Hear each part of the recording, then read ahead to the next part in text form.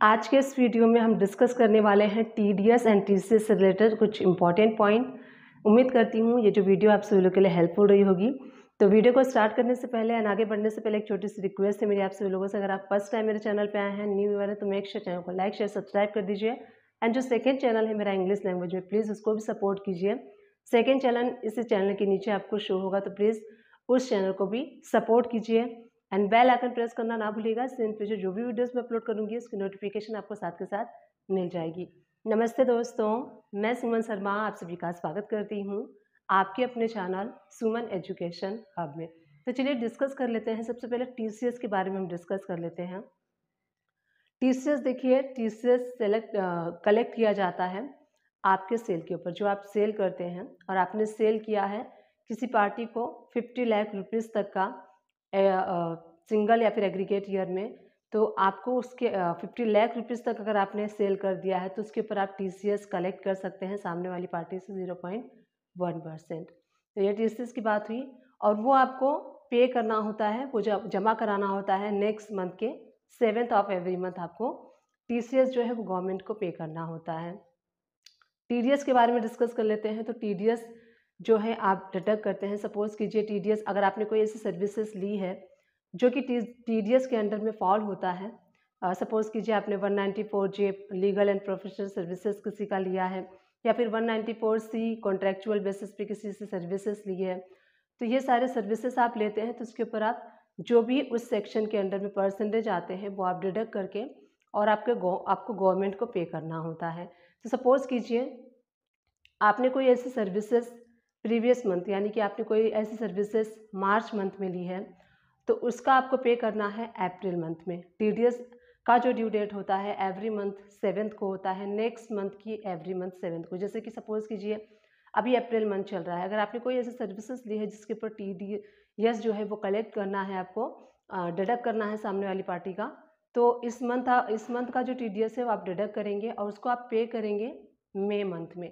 तो May month में आपको पे करना होता है अगर आप पे नहीं करते हैं सपोज़ कीजिए इस मंथ आपने टी डी डिडक्ट किया और आपने नेक्स्ट मंथ में पे नहीं किया तो उसके ऊपर पेनाल्टी भी लगती है। पेनाल्टी का जो है इंटरेस्ट लगता है।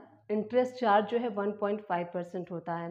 तो every month one point five percent आपको पॉइंट फाइव परसेंट के अकॉर्डिंग टीडीएस का जो लेट uh, आप करते हैं उसका इंटरेस्ट आपको पे करना होता है। जैसे सपोज़ कीजिए कि इस मंथ कोई बिल था मान लीजिए प्रीवियस मंथ का दे देते अगर मार्च का कोई बिल था, जो कि आपने इस मार्च में आपने टीडीएस डिडक्ट नहीं किया और अप्रैल में उसका टी पे नहीं किया, अगर आप मई में करते हैं, मार्च मंथ का इन्वाइस का मई में करते हैं तो मार्च मंथ अप्रैल मंथ और मई मंथ, यानी कि आपको 1.5 पॉइंट फाइव मल्टीप्लाई थ्री यानी कि 4.5 परसेंट उसके ऊपर जो है लेट जो आप कर रहे हैं, उसके ऊपर इंटरेस्ट 1.5 परसेंट के अकॉर्डिंग 4.5 परसेंट आपको गवर्नमेंट को पे करना होगा। तो ये हो गया टीडीएस का जो आप लेट करते हैं पेमेंट उसमें आपको 1.5 परसेंट के अकॉर्डिंग इंटरेस्ट कैलकुलेट करके, जो टीडीएस का जो अमाउंट होता है उसके ऊपर आपको कैलकुलेट करना होता है। कैसे करना है?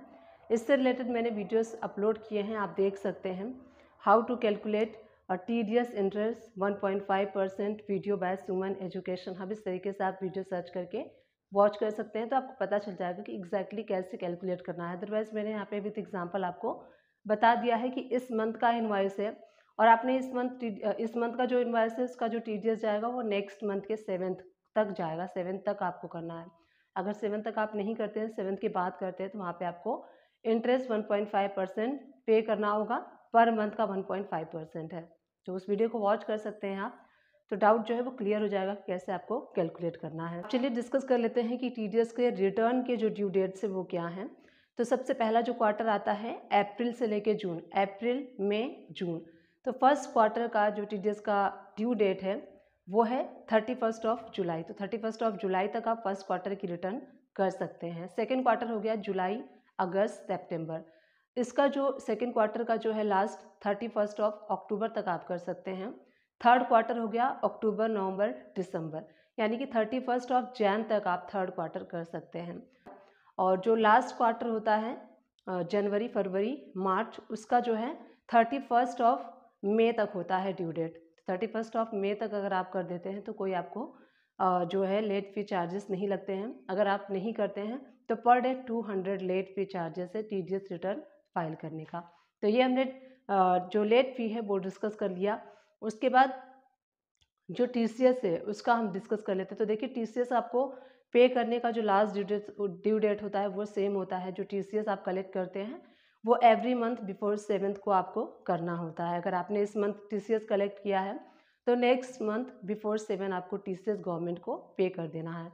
और टीसीएस का जो रिटर्न चाहती है तो टीसीएस के रिटर्न का जो ड्यू डेट है, वो फिफ्टीन डेज़ बिफोर होता है टी के रिटर्न की। जैसे कि टी डी का हमने डिस्कस किया था फ़र्स्ट क्वार्टर का था, उसका थर्टी फ़र्स्ट ऑफ़ जुलाई तो इसका हो जाएगा TCS का मैं आपको क्वार्टर वाइज बता देती हूँ। TCS का फ़र्स्ट जो है अप्रैल में जून फ़र्स्ट क्वार्टर के लिए फिफ्टीन ऑफ़ जुलाई होगा। जुलाई अगस्त सेप्टेम्बर सेकेंड के लिए हो जाएगा फिफ्टीन ऑफ़ अक्टूबर अक्टूबर नवंबर दिसंबर इसके लिए हो जाएगा थर्ड क्वार्टर के लिए fifteen of June fifteen of Jan and उसके बाद जो लास्ट क्वार्टर होता है तो सेम डेट रहेगा जैसे मैंने आपको टी टी से रिलेटेड बताया। तो ये ड्यू डेट्स हो गए इनके। तो उम्मीद करती हूँ ये जो वीडियो मैंने आप लोग के साथ T C S and T D S से रिलेटेड शेयर की है, ये वीडियो आप सभी लोग के लिए हेल्पफुल रही हो। अगर हेल्पफुल रही है तो प्लीज़ चैनल को लाइक शेयर सब्सक्राइब कर दीजिए और अगर वीडियो आपको अच्छी लगती है तो इसी तरीके से वीडियो को आप शेयर भी कर सकते हैं सो so दैट और लोगों की भी हेल्प हो सके और और लोग भी इस चीज़ का बेनिफिट ले सकें। बस आपको शेयर करना है। ईजिली आप शेयर का ऑप्शन देख सकते हैं। वीडियो के नीचे आपको शो होगा, उसको शेयर कर दीजिए। एंड सब्सक्राइब करना मत भूलिएगा। सब्सक्राइब का बटन रेड कलर में आपको शो हो रहा है। तो उसको हिट करेंगे तो चैनल सब्सक्राइब हो जाएगा। नोटिफिकेशन भी आप ऑन कर लीजिए बेल आइकन पर प्रेस करके। सो so दैट जो भी इन फ्यूचर में वीडियोस अपलोड करूँगी, उसकी नोटिफिकेशन आपको मिलती रहेगी और आप किसी वीडियोस को मिस नहीं कर पाएँगे।